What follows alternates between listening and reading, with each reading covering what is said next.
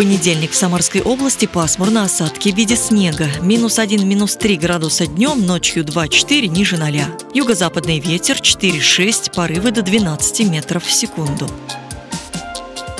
В Сызрани тучи, днем минус 2, ночью 2 с минусом, западный ветер 5 метров в секунду.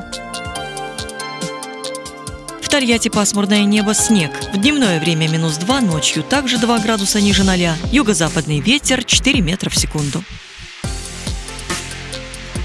В Самаре пасмурно и снег, днем минус 3 и ночью 3 градуса ниже 0. Юго-западный ветер 4 метра в секунду. Атмосферное давление 757 миллиметров ртутного столба, влажность воздуха 88%. Прогноз погоды предоставлен погодным порталом gismeteo.ru.